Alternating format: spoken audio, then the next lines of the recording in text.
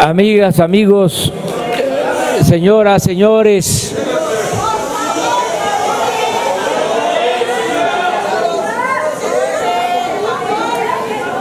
Víctimas y familiares de víctimas.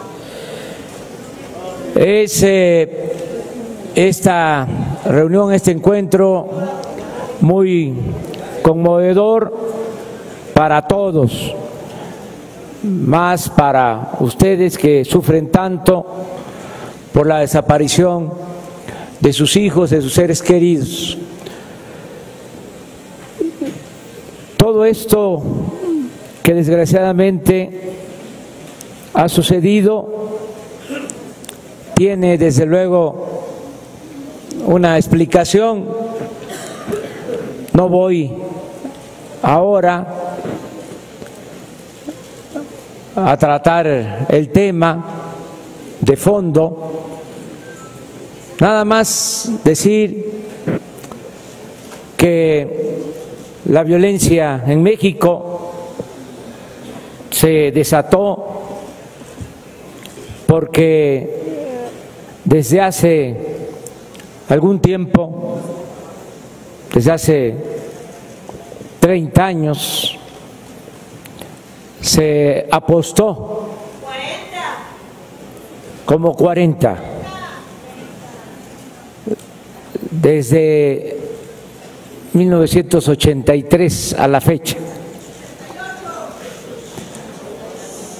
Se apostó a un modelo económico llamado neoliberal, que no es más que neoporfirismo, lo que se padeció durante los 34 años de la dictadura porfirista. Se restableció ese modelo, se reeditó ese modelo para beneficio de un pequeño grupo a costa del sufrimiento de la mayoría de la gente. Eso fue lo que ha originado todo este dolor, toda esta violencia. Afortunadamente, en la pasada elección, la mayoría de los mexicanos decidió buscar un cambio verdadero, una transformación. Y esto es lo que nos tiene aquí.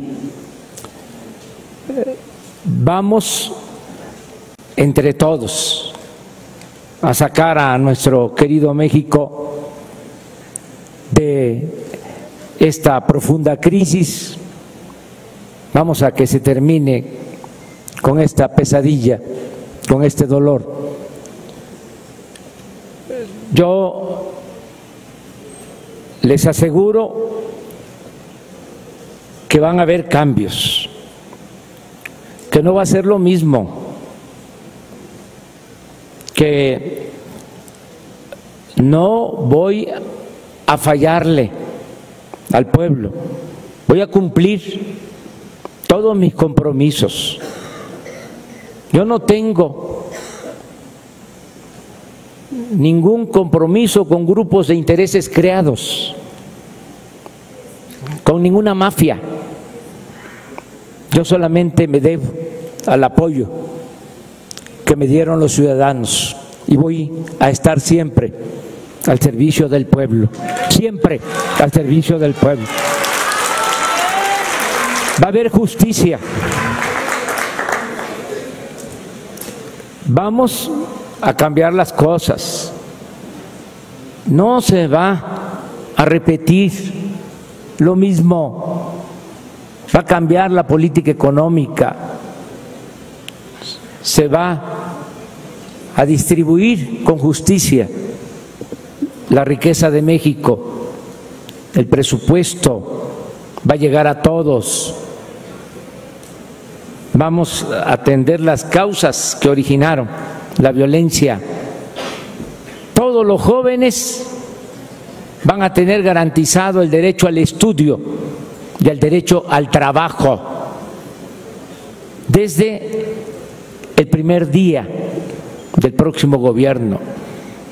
Todos los estudiantes van a tener oportunidad de ingresar a una escuela, no van a ser rechazados y no va a importar la condición económica, social de los padres. Los estudiantes de familias de escasos recursos económicos van a tener becas para que puedan terminar una carrera. Y todos los jóvenes que no tienen trabajo van a tener empleo todos los jóvenes, porque ya desde este mes, unos días próximos, empieza a hacerse un censo. Vamos a ir casa por casa, apuntando, inscribiendo a todos los jóvenes para darles trabajo como aprendices, para que no caigan en la tentación o no sean presa fácil de la delincuencia. Se va a atender a los jóvenes, van a tener estudio, van a tener trabajo. Y también les digo que vamos a contar con recursos para que se atienda a las víctimas de la violencia. ¿Por qué vamos a tener recursos? Porque ya no van a ver los sueldos que hay ahora. Y esos son hechos. No es demagogia.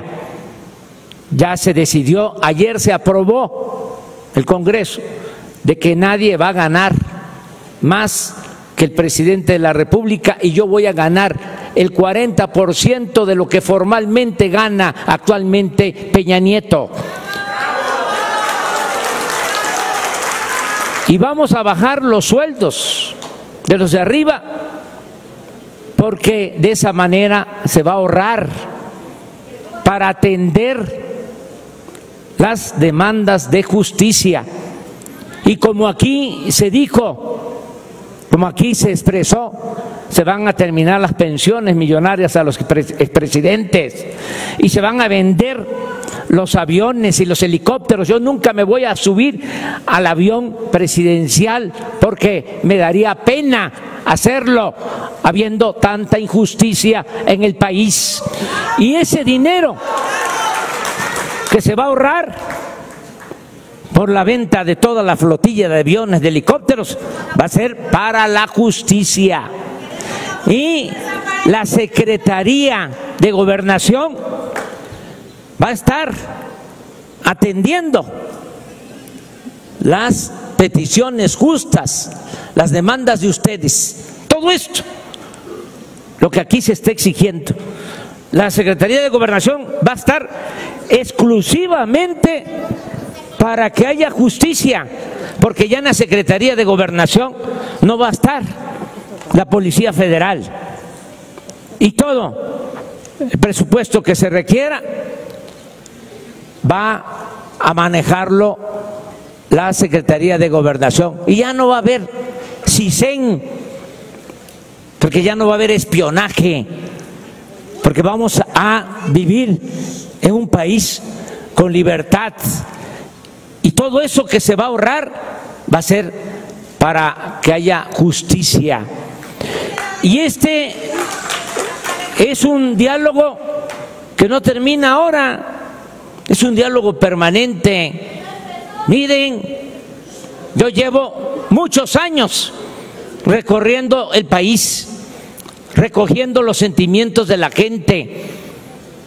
No hay un mexicano, nunca lo he dicho, pero aquí, eh, por las circunstancias lo amerita para que tengan confianza. No soy igual que los políticos corruptos, no me confundan.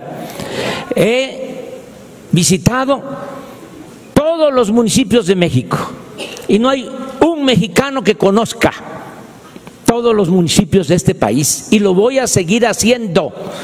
Siempre voy a estar recorriendo los pueblos y nos vamos a estar encontrando permanentemente y vamos a estar hablando y vamos a estar dialogando y nos vamos a estar comunicando y vamos entre todas, entre todos, a sacar al país de esta tremenda desgracia. Vamos a estarnos viendo, va a ser reunión permanente. La licenciada Olga va a estar siempre con ustedes, siempre. Y Alejandro Encinas va a tener eh, bajo su responsabilidad atender esta justa demanda de ustedes. El que se encuentre a los desaparecidos, el que haya justicia para las víctimas. Alejandro va a tener eh, esa tarea, esa función y yo voy a estar así como ahora voy a estar también en reuniones con ustedes, además de que voy a la plaza pasado mañana de Tepic y voy a la plaza también pasado mañana de Mazatlán. Y voy a estar en Culiacán y voy a estar en La Paz y voy a estar en todos los estados, como siempre, en todas las regiones de México y voy a estar en Tamaulipas y voy a estar en todos lados.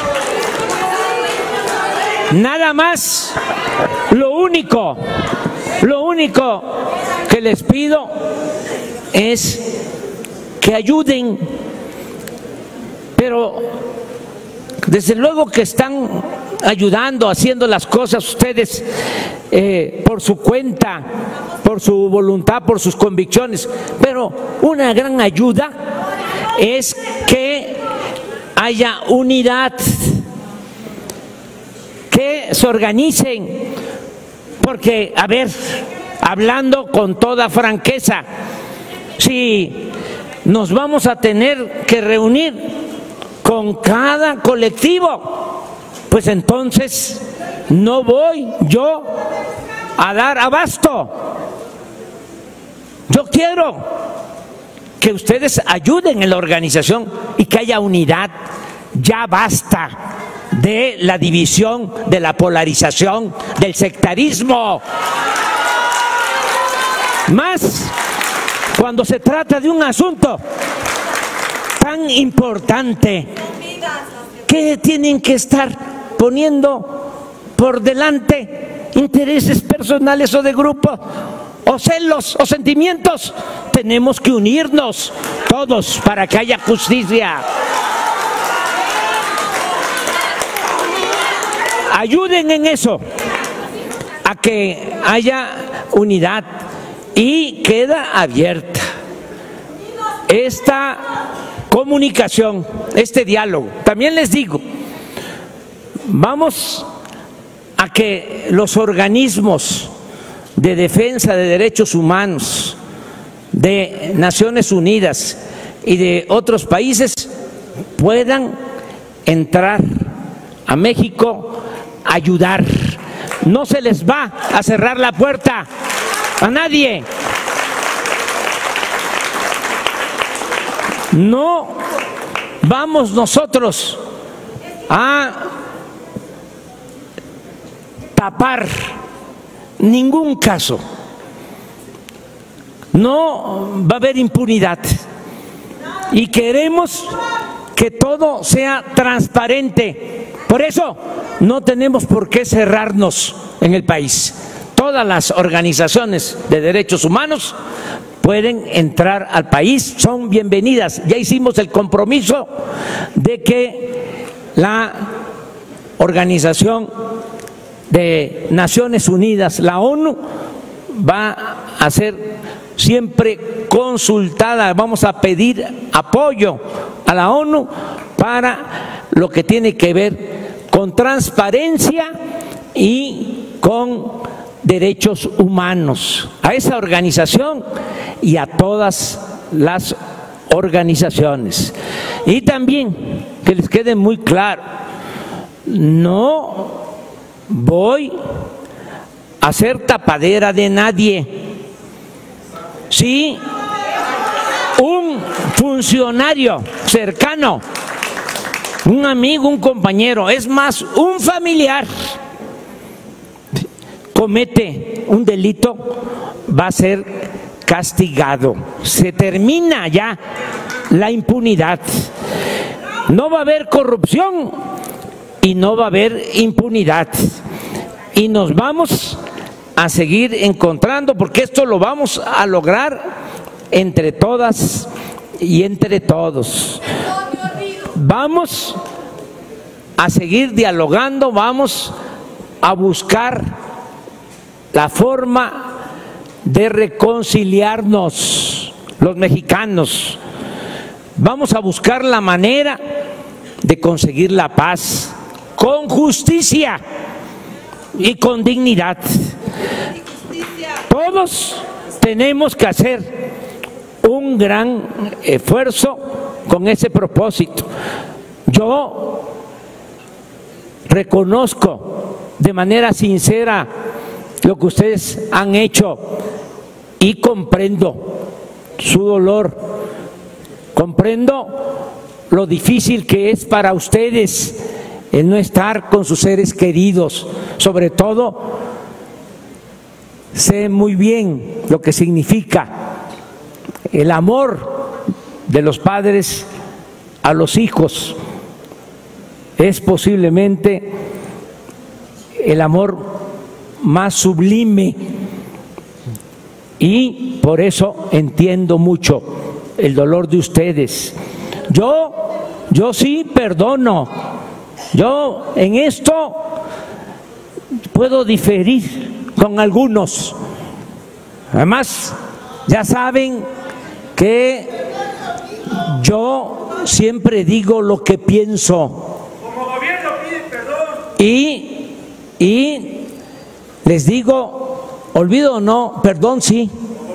Ese es mi planteamiento. Respeto a los que dicen ni perdón ni olvido. Los entiendo, los comprendo. Yo tengo otra convicción y podemos eh, ponernos de acuerdo. Y yo les digo por lo que corresponde a mi responsabilidad. Y lo voy a hacer ya. Al momento que llegue a la presidencia, yo voy a pedir perdón. Le voy a pedir perdón a todas las víctimas de la violencia y voy a comprometerme, no solo voy a pedir perdón, voy a comprometerme a que va a haber justicia en todo lo que humanamente esté de mi parte. Voy a cumplir con ustedes. No están solos. El gobierno ahora no va a estar al servicio de una minoría rapaz, no va a estar al servicio de la delincuencia, ni de la delincuencia común, ni de la delincuencia de cuello blanco. El gobierno va a ser del pueblo, para el pueblo y con el pueblo. Muchas gracias. Muchas gracias a todas y a todos.